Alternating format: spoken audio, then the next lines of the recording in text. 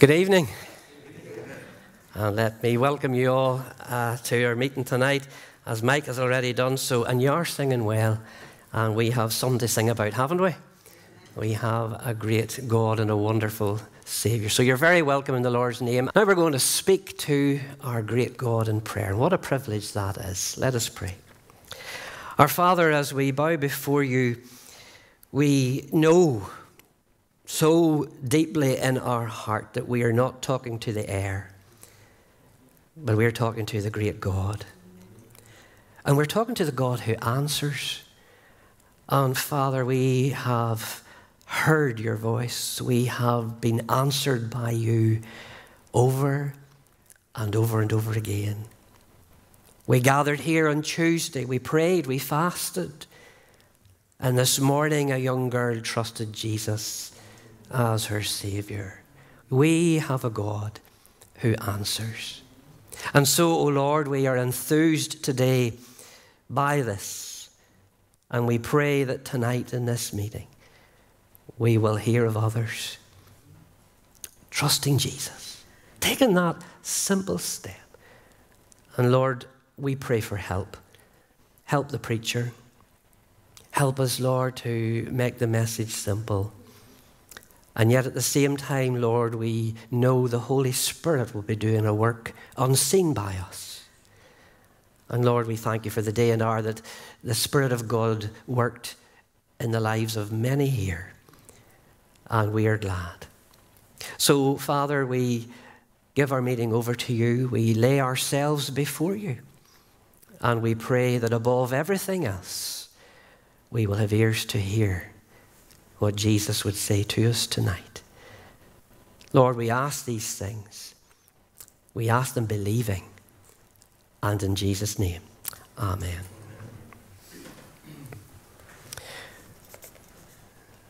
We're thinking about uh, questions, and some of you who were handed an invitation to come along, and I know some of you have come in response to that. And lovely to see that some of you have been here to every one of our outreach meetings. So this is the eighth one, and we're thrilled by that, and we thank you for that. So you'll be aware of the questions we've been thinking about. We asked, Who is God? We asked, When did it all go wrong? We asked, Where am I going? What is sin? Why am I here? Why did Jesus die? And this morning, uh, the question we considered was, Where can I find the truth? And if you've missed any of those and are interested, and those questions have sparked some curiosity in your mind as I read them tonight, they're all available on a YouTube playlist and they'll also be on our Facebook page, so you can catch up with them. But tonight's question is What is the way to God? What is the way to God? It's a good question, isn't it? And to help us answer that question, I think we need to find out what kind of God the God of the Bible is. The way some people talk about God, it would make you think that he was elusive, a God that hides away, some kind of mystic hermit, and he never shows himself. And because of that, people think that God can't be known, let alone reached. Even religious institutions that, that claim to tell people about God, they, they make God appear inaccessible, unapproachable. Or perhaps they make God appear only accessible if you jump through certain hoops that they deem to be necessary. Maybe you came here tonight thinking that's what I've been telling you to do. There's this, this, this, this, this, and this. And if you do all of that and keep doing it till the day you die, you'll eventually meet God. Some people have complicated the whole matter of the way to God. And I hope tonight when you leave here, you'll realize that it's not complicated, it's simple. And if I haven't managed to do that, then uh, I've failed, I believe. But I want you to grasp that, that The way to God is simple. Because with all the mystery that some people give to access to God, you'd think you had to be Indiana Jones to get to God. You had to decipher some mysterious code and then drag yourself through some quagmire, and you'd need to be nearly an acrobat to reach the throne room of God. No, the way to go is much simpler than that. And to prove that, I'm going to read a portion of God's Word. And everything that we believe and hold to and has been a help to us can be traced to this book. It's not our own notions, it's not a Baptist notion, it's what we find in God's revealed Word. And we're turning to Luke's Gospel. So in your New Testament, you have Matthew, Mark, and then Luke and it's the 23rd chapter. And it's a very important chapter because Jesus is on the cross, or going to the cross. And that's one of the themes of this little place you're in tonight preaching Jesus and preaching the cross. And from verse 32 of Luke 23, we read this. And there were also two other malefactors, that's just lawbreakers, led with him, that's Jesus, to be put to death. And when they were come to the place which is called Calvary, there they crucified him and the malefactors or criminals, one on the right hand and the other on the left. So immediately you have a picture in your mind three crosses, Jesus in the middle. Then said Jesus, as he's looking to his Father, Father, forgive them, for they know not what they do. And they parted his raiment and cast lots. And the people stood beholding, and the rulers also with them derided him or mocked him, saying, He saved others. Let him save himself. If he be the Christ, the chosen of God. The soldiers also mocked him, coming to him and offering him vinegar or sour wine, and saying, If thou be the king of the Jews, save thyself. And a superscription or an accusation was written over him in letters of Greek and Latin and Hebrew This is the king of the Jews. And one of the malefactors, which was hanged, reeled on him or mocked him and shouted at him, saying, If thou be Christ, save thyself and us. But the other answering rebuked him, saying, Dost thou not fear God, seeing thou art in the same condemnation? We indeed justly they're saying we deserve to be here. For we receive the due reward of our deeds, our crimes. But this man hath done nothing amiss. And he said unto Jesus, Lord, remember me when thou comest into thy kingdom. And Jesus said unto him, Verily or truly I say unto thee, today shalt thou be with me in paradise. And it was about the sixth hour, and there was a darkness over all the earth until the ninth hour. The sun was darkened, the veil of the temple was rent or torn in the, midst, and when Jesus had cried with a loud voice, he said, Father, into thy hands I commend my spirit. And having said thus, he gave up the ghost. Now, when the centurion saw what was done, he glorified God, saying, Certainly this was a righteous man. Amen. We know God will add his blessing to that portion of Scripture. And the man I want to point you to tonight is the man that we often refer to as the dying thief. But of course, there were two dying thieves. So it's the repentant one. The other one didn't repent. Our question is, what is the way to God? And in this story, we have a wonderful example of an unbeliever who, physically speaking, was unable to do many things that religion would tell you you have to do in order to find God. This man was unable to do them. He's hanging on a cross. He couldn't be baptized. He couldn't be confirmed. He couldn't receive sacraments. He couldn't be catechized. He couldn't do good works. He couldn't give money. He couldn't go on a pilgrimage. He couldn't visit a shrine. He couldn't venerate an image. He couldn't make an offering. He couldn't join an order, even the Orange Order. You know, well meaning people will tell you you must go through this rite or that rite, or follow some program to find God. If they ever do that, point them to the dying thief. We've thought about what he couldn't do. But what could he do? He's on a cross, like Jesus, like the other criminal. He's very limited in what he can do. And that's why we need a simple gospel, isn't it? And that's why the gospel is simple. What did he have there at Calvary? That enabled him to come to God? Well, in short, we could say this he had everything he needed. And I want you to remember that. He had everything there that he needed to come to God.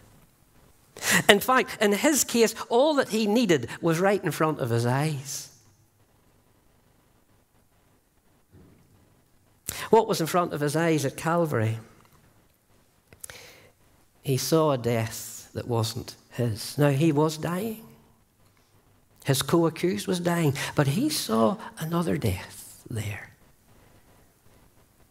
that wasn't his. Why am I using that phrase? He saw death that wasn't his. Well, let me explain something to you.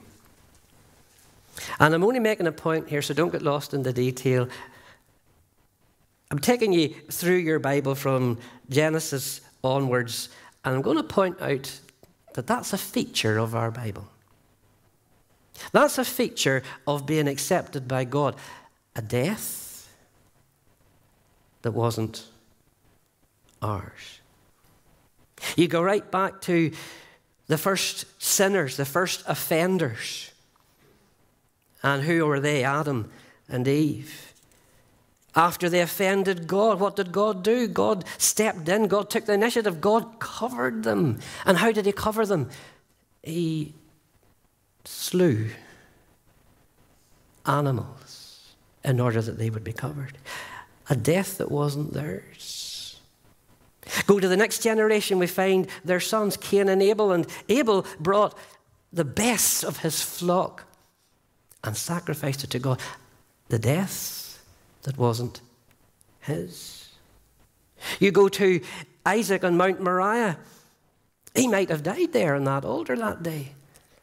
But God points Abraham, his father, to a ram. And the ram was sacrificed in Isaac's place, the death of another, a death that wasn't his.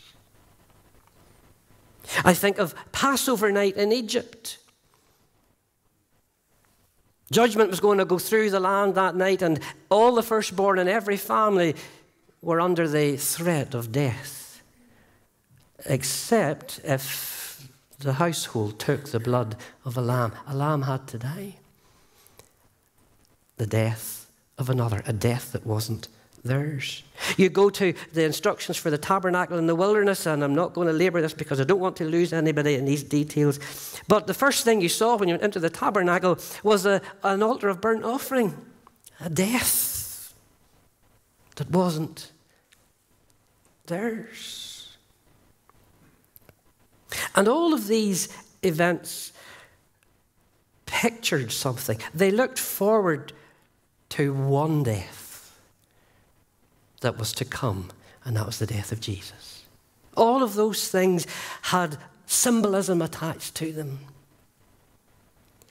The people did it, and they did it in faith, but it all pointed towards one death, and that was the death of Jesus, who died for others, who died for you, who died for me. And that event took place at Calvary, and our dying thief was there. He was there. He saw it before his very eyes. He saw all that he needed, all that people have ever needed before Calvary and needed since. He was there. And he saw it. Oh, there were many things he couldn't do, many things he didn't have. But here was something he had. He saw before his eyes the death to end all death, really. The death that puts paid to death eventually. The death that gives life, even resurrection life, to the bodies of those who have died in Jesus. He was there. He saw it. And that's the way to God. It's simple. The death that wasn't yours, it was Jesus' death. God's Lamb, the verse above my head says it the Lamb of God who takes away the sin of the world. The way to God is a death that we did not die, but that His Son died in our place. Well, when I think about that story, a lot of things come to my mind that I think are, are helpful for us tonight. Because whenever I look at the story that we've just read about Jesus in the center cross and the criminals on either side, first thing I see is division there at Calvary. We have Jesus in the middle, and he's dividing the two men in that sense, but they're divided in another way. Because one of them repents and the other doesn't. You know, that's what divides this room tonight. It's not an aisle, it's not male and female, older and younger. What divides this room tonight are those who have repented and those who have not. That's what divides our world. One of the least racist books in all the world is the Bible because it talks about the whosoever. All have sinned. And the thing that divides this world is not race, not culture, not language. It is those who have repented and those who have not. That's how God sees our world. And then there's eternity. And that's how eternity is divided. Those who have repented and those who have not. Where are you in all of that? There's an old course some of us learned in Sunday school, and it says, Three crosses standing side by side of broken law sign. Two for their own transgressions died, the middle one for mine. The cross divides. Jesus often spoke about signs of the times and the end of the world, and he used some pictures to describe what the judgment would be like. And one of the pictures is the wheat and tares, there's only two categories. The wheat were those who were eventually taken in and stored safely. The tares were burned in the fire. And then there's the sheep and the goats. Again, only two categories. So there's division at Calvary because there'll be division at the judgment. There is what one thief saw, and there's what another thief missed. Oh, we don't want you to miss salvation tonight. We want you to get it, we want you to see it, and we hope that you will. And what was it that one thief saw as he was hanging on the cross, unable to do all the things that religious people say you must do? Well, he saw that something wasn't right. He looks at the man in the middle cross and he knows that that man shouldn't be there. Jesus shouldn't be there. You see, a man called Barabbas should have been there. He was an armed robber, he was an insurrectionist, a terrorist, we would call him today. He should have been there. That was for him. And one of those thieves knew something wasn't right. Not only that, when he looked at the person who was on the cross in Barabbas' place, he was puzzled. Why is this good teacher in the middle cross?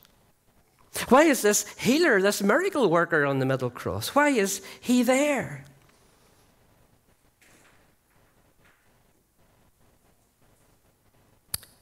One became interested while the other couldn't care less. Wonder is that representative of people here tonight? One's interested, one's curious, but the other couldn't care less.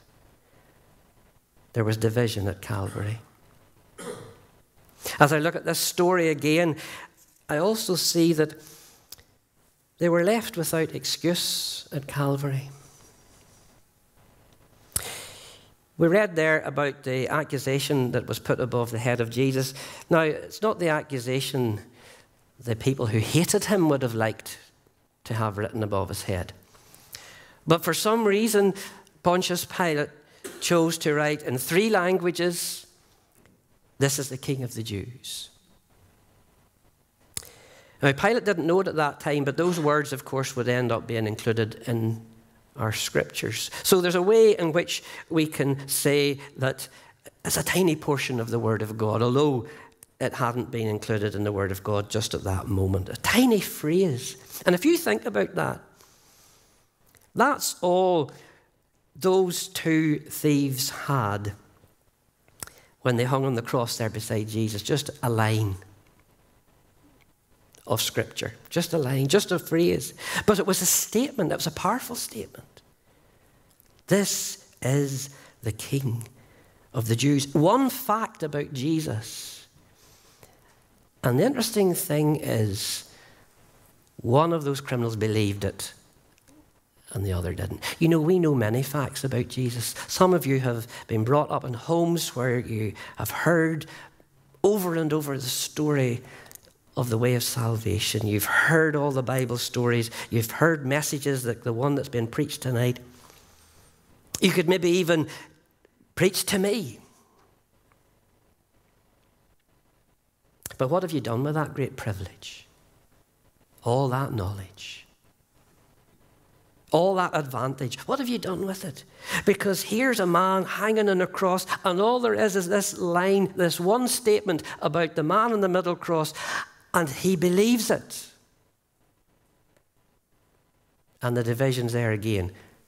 His co accused did not.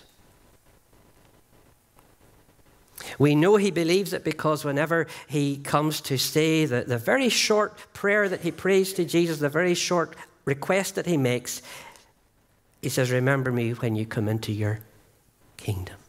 He got it. He realized that Jesus was who he claimed to be, and he believed it. There isn't only what he heard at Calvary, or what he saw and read at Calvary, but what he heard. Unlike a lot of the films that have been made about the life of Jesus and the crucifixion scene, they seem to play a lot of orchestral music and make it look very serene and peaceful and tranquil and thought provoking. Calvary wasn't like that. If you visit Israel today in Gordon's Calvary, the, the place where Jesus was crucified, today it's now a bus terminal, but then it was equally busy. It was a thoroughfare. People were crucified in a very public place so that folks coming in and out of the city would be warned. They would see these crosses and they would realize that the Romans don't, aren't to be messed with. We read in this passage there was mocking, there was laughter. He was being jeered. And historically, at executions, uh, even in the UK, even in France, in centuries past, it was a time of festivity. So there would have been a lot of voices that these men hanging on the cross would have heard mockery, laughter. They would have heard religious men making their opinion known as well. That was happening. The cry was going up from the religious men We don't need him. We don't want him. He's not part of our plan. Away with him, was what they said in short. Many people are saying that today, aren't they? But in spite of all these voices, there was also the voice of conscience. I wonder, do you know what that's like? The repentant thief heard the inner voice of his conscience, and it wasn't very comforting because he knew he was a sinner. In fact, he says to his co accused on the other side of Jesus' cross, We deserve to be here. He felt his need, he felt his sin. But thankfully, above all of these other voices, there was the voice of Jesus. And what a wonder that Jesus, from that position, in his own immense suffering, would take time to say to a criminal, Today you will be with me in paradise. What a wonderful thing. What a beautiful thing.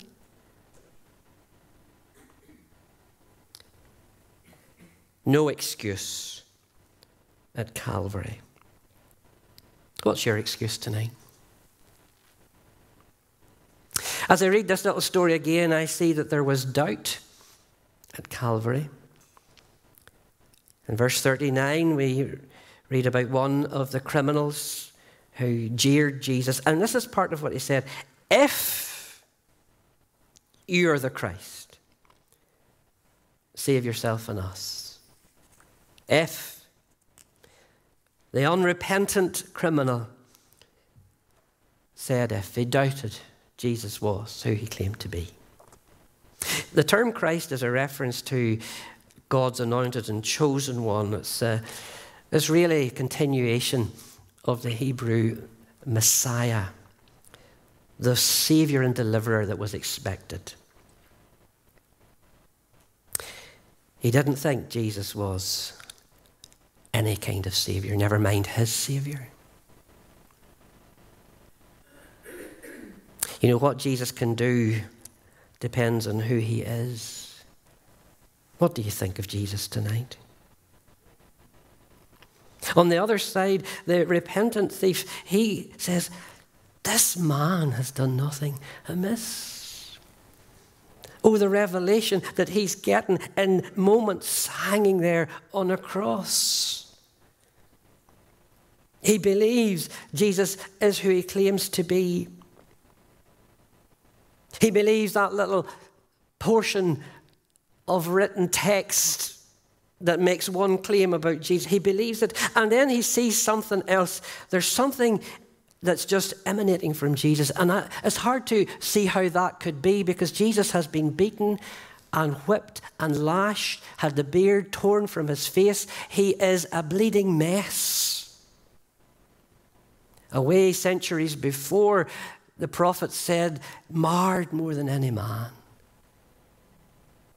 And yet he sees something in Jesus that, that causes him to realize this man has done nothing amiss. This man's sinless. This man doesn't deserve to be here. At the end of the reading, didn't the centurion say, Surely this was a righteous man? He was also looking at the torn and battered and beaten Jesus.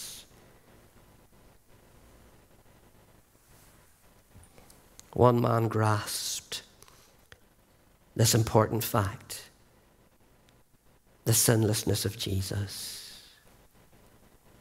And only a sinless Savior could be a sin defeating Savior. Only a sinless Savior could carry the sin of the world because he had none of his own to carry. And that's how your sins and mine were laid on him. There was doubt at Calvary. Are you a believer or a doubter tonight? As I look at this wee story again, I realize there's also an impossibility at Calvary. Because the thief who didn't repent, he challenges Jesus and says, as we've read in that verse 39, save yourself and us. That was an impossibility. Because if Jesus had saved himself that day, you and I would be lost forever, without, without hope.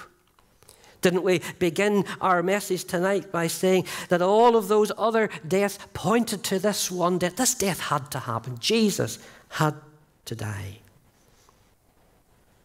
So Jesus couldn't do both. Because if he saved the sinner, he couldn't save himself. And that's what he did. He died with you in mind. with an imprint of your image on his mind. He died for you. The sinless one died for the sinner, the just for the unjust, that he might bring us to God. God the Son took my place, became my substitute, bore my punishments. That's a wonder. Yes, there was an impossibility at Calvary. He couldn't save himself and us, so he saved us. There was conviction at Calvary. The repentant thief said, Do you not fear God? And so what he was really saying was, I do. Do you not? And he's hanging on a cross. We thought of all the things he couldn't do, but now we're starting to see what he could do. And he feared God.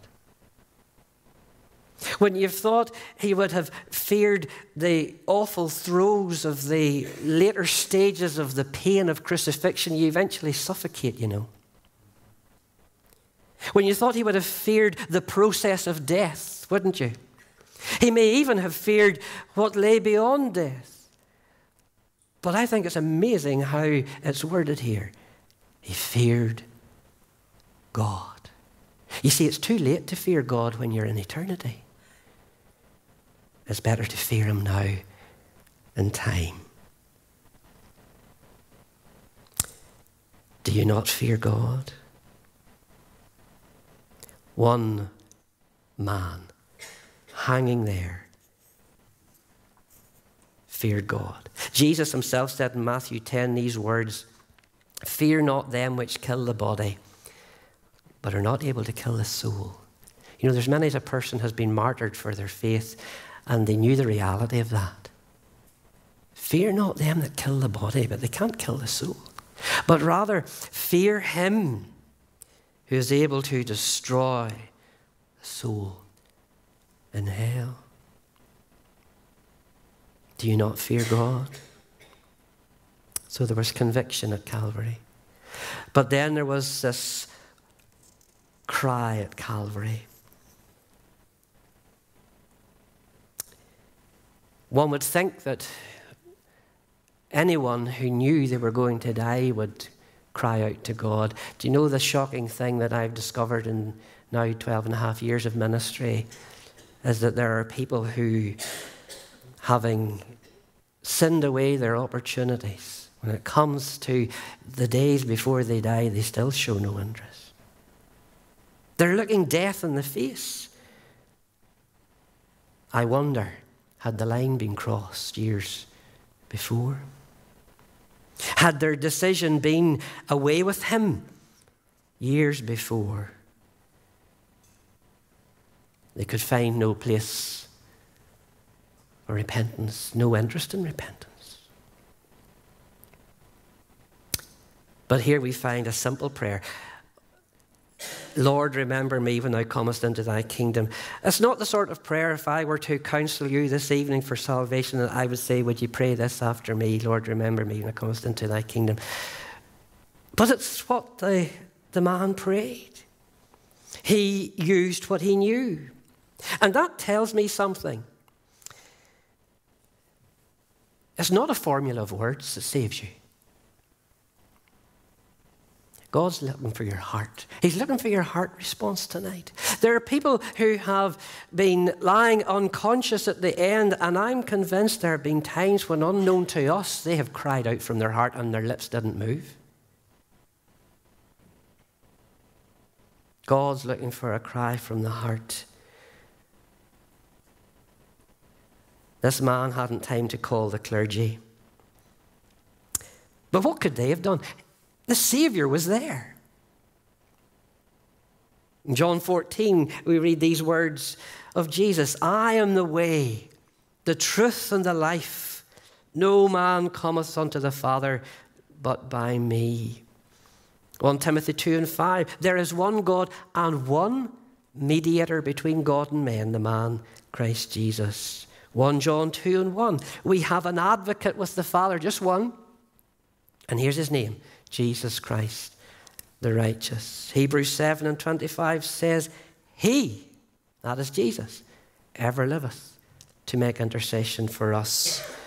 And in Acts 4 and 12, neither is there salvation in any other, for there is none other name under heaven given among men whereby we must be saved. He didn't need a clergyman, he didn't need a rabbi. His words didn't need to be in a certain order. Jesus was there. Jesus was there. His heart had been turned. His prayer was simple. His faith was evident. He was looking to the Lamb. There's the prayer at Calvary. There was also urgency at Calvary. Notice what Jesus said Today you will be with me in paradise. He was literally in the valley of the shadow of death. Today, you will be with me in paradise. He came at the 11th hour. Jesus was speaking here to a dying man. He was speaking as a dying man to a dying man. And that dying man had no guarantee of another day. You know, we're not hanging on a cross tonight. We're not even lying in a hospital bed tonight. And we all look to be pretty fit and able tonight.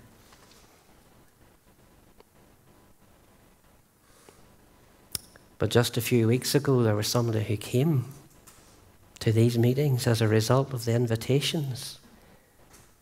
And that dear man is now in eternity. That could be you. There's an urgency when we look at Calvary. One day, thief died that day, and he died rejecting Jesus and did not go to paradise. One thief died that day looking to Jesus, and Jesus assured him, You'll be today with me in paradise. God says, and He makes it even more simple Look unto me and be saved, all the ends of the earth, for I am God and there is none else. So, what's the answer to our question tonight? What is the way to God? The death of another, the death of Jesus. That's it. It has happened. So, what do we do? We believe that when Jesus died, he died for us. He died for me, He died for you personally.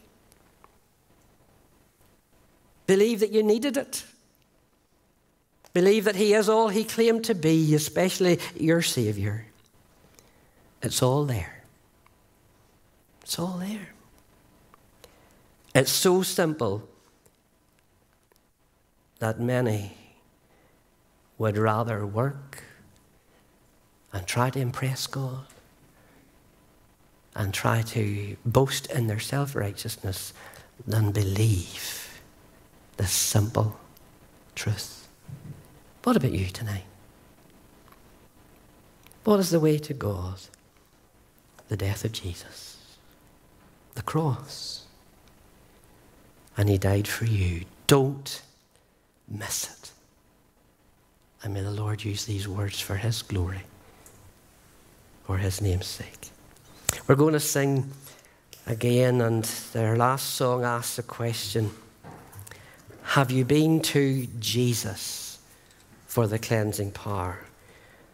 Are you washed in the blood of the Lamb? And that's just a reference to his death on the cross for you. We'll stand as we sing, and then we'll close in prayer and give thanks for the food. And please, please, do stay behind. And during that time, or even as you go out the door, if you haven't time to stay and you want to speak to me, take that opportunity to do so. If we can help you in any way, we would be more than glad to do that. Let's sing.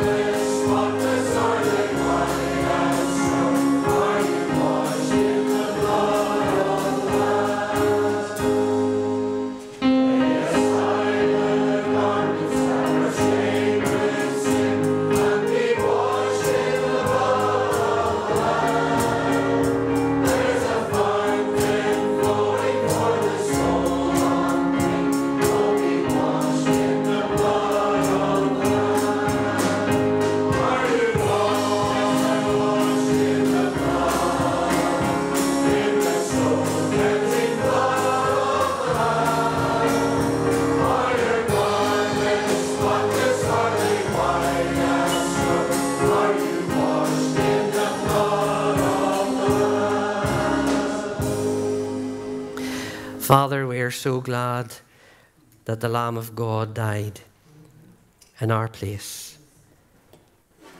We're so glad that salvation is simple because it's all been done for us. And Lord, we pray that not only will we discuss the question, what is the way to God, but oh, that men and women in this meeting tonight would take that way. Lord, for our time of fellowship and for the good things provided, we pray you bless them to your use. We ask for journeying mercies for all as they eventually make their way home. And we just give you our thanks and praise that we have a wonderful Savior in whose name we pray. Amen.